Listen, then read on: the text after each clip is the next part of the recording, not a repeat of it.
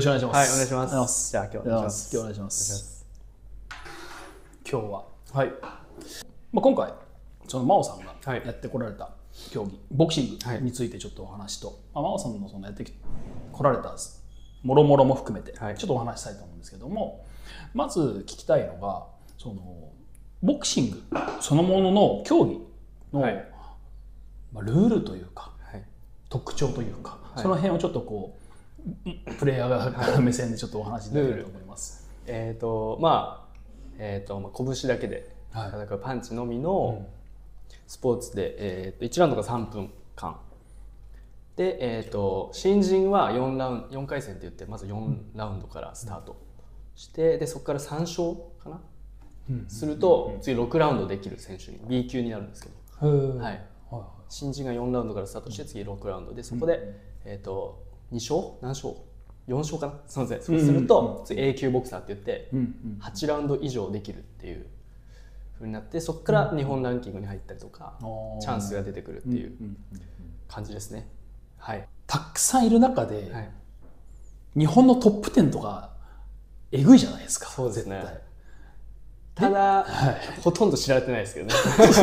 業界的には。それなんですよね。多分日本なのでどうしてもその知名度的には世界チャンピオンですらっていう場合もあるじゃないですか、そうね。世界チャンピオンでもはい。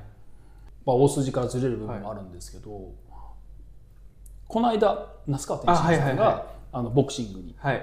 転向されたっていうのでちょっと話題になったじゃないですか、はいでも業界的には盛り上がったかもしれないけど、はい。世間的にどうなのっていうそのそのボクサーからの目線というかあまあ、要はフラットで見ていいんですけど、はい、僕すごい個人的な意見になっちゃうんですけど、僕自身が天心をあんまり追いかけてなかったっていうのもあって、で僕まあでも多分世界チャンピオン取れるとは言われてうん。ますよね、ただすなんかそんな簡単じゃないような気もしてるっていう感じはしますけど。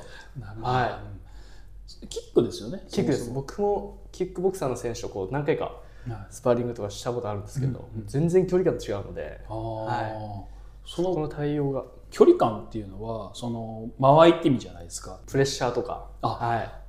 なるほど。こうはい。よく圧力みたいな言い方をされる。とか構えとかも全然違うんで。あー。キックの構えってどんな感じになるんですか？なんかどっちかというとこうなんか前足をこうなんかちょんちょんしてるイメージですねこうやって。あちょっとじゃあ後ろみたいなあ後ろみたいであとこうダッキングとかしないんですよ。こう膝が飛んでくるんであそうか前のめりに行く必要ないのか。こそうう。こう来るから。なんで僕もそそうキックのショットやってこう前にやったらこう構えだけされてめっちゃ怖かったんですけどダッキングダッキングって言ってこうやってこういう動きあるんですけど、要はこうアップダウンじゃないですけどね、はい頭をこかわすかわす動き時に前に行くとうん。キック飛んでくるんで、うそれが危ないっていうとかあるんですよ。か。もう圧倒的にじゃあ構え変わってきますもん構え違いましたね。はい。ただでももう2試合ぐらいやってますもんね天心も。そうですね。まあ圧倒的に勝ってるんで。そうですね。また決まったみたいですけどはい。まあ素人ながらいろいろチェックしていくと、まあ、那須川選手っていうのはもともとそのパンチの才能はその界隈でもそういうトップクラスだったみたいな話はちょっと小耳に挟んでなんか井上尚弥ともいいスパーするっていうのは聞いてて。すごいなと思ってましたあの井上尚弥で間違いないですか？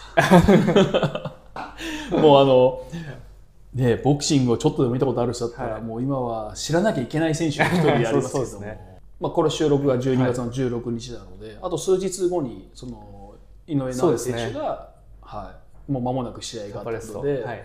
この間昨日だか一昨日だかもうなんかあれですね。公開スパーあ公開練習か。ー練習やってましたね。公開練習やってましたもんね、い、やいやめっちゃ楽しみですね。いやもうすいませんファンなんで。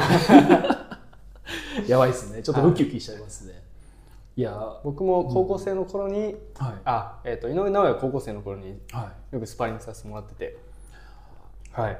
高校生の頃ってなるともう10年近く前です。10年？10年近く前ですね。僕が二十歳とか13年前とかじゃないですかね。ああじゃあもう1213年。はい。の井上尚弥が高校ではい。何冠か取ってる時とかですね。高校のその最大のまあ、高校ボクシングの最高の冠数って6でしたっけ？5でしたっけ？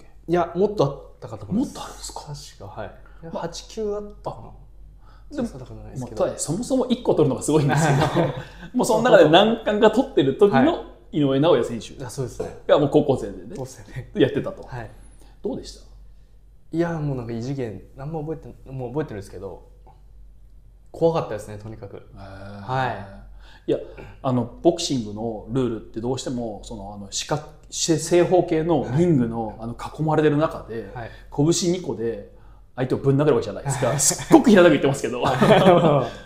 まあ一応そのルール上そのぜ前面だけですよね確か。そうです。背中ダメですね。ね。背中、後ろ側はもう本当ダメで、はい。例えば膝をついた段階でパンチを打っちゃいけなかったりとかっていうのはそうですね。一応はい。一応そうですはい立った状基本立った状態でっていうまあでも具志堅会長とかは倒れても打ってましたけどね。そのもう審判止めるまで打ち続けるっていう。かっこよかったですね。いやもうこれはなんで。どうしてもタレントのイメージが強いじゃないですか、でほんわかされてるじそうですねゃないですかなんであんなこう構えた瞬間に獣のように変わる？本当獣ですね。あれは本当すごいですよね。もともと具志堅会長のところにいたんで。そうだったんですね。具志堅ジムでやってました。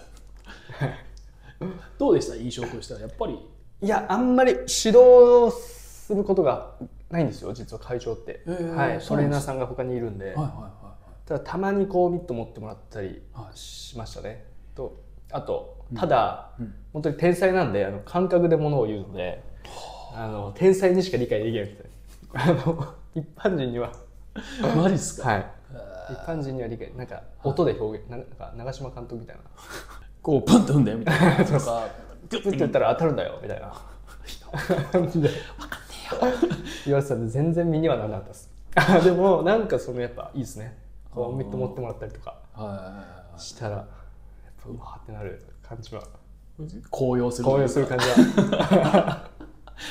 まあそもそもその具志堅陽子というボクシング選手の経歴、実績っていうのも本当素晴らしいものがある中で。まだ破られてないと思いますね。ですよね、はいまあ、ちょっと詳しくは僕今ググないと分かんないんですけどだけど10 13回ですね。13回、世界同じタイトルを防衛し続けたそうです。記録日本記録ですかね。それだけやっぱりその獣というか、はい。さっきの体表現が正しいかどうかは別ですけど、そのまあ野生的な部分っていうのはやっぱ投げとやっぱそういうふうなそうですね。部分はやっぱ本当に最後はもう気持ちなんで、はい。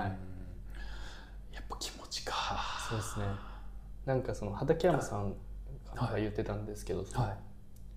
そうあと1 0センチ踏み込めるかどうかの勇気でその決まるっていうのはなんかの流れで言ってたんですけど、1 0センチですか、はい、このい行くぞっていう時に行けるかどうかっていうので勝負決まるぐらいの、こんなもんですよ。ねはい、その踏み込みはとかの世界になってくるんでだからどんだけ喧嘩強くてもそのはい。いざっていう時のメンタル弱かったら勝てないとかっていう、それこそ昔はその僕の好きなボクシング好きな僕のちょっとした知識というか、見聞きした情報だと昔はやんちゃをしてた方が持て余したエネルギーをボクシングにぶつけるんだはい。